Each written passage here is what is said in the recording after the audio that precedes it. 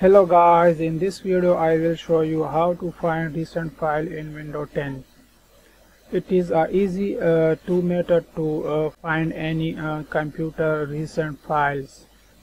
First method is uh, go to uh, Windows taskbar and search run. Then click on this and search uh, recent. Then click on OK so this is my all recent files.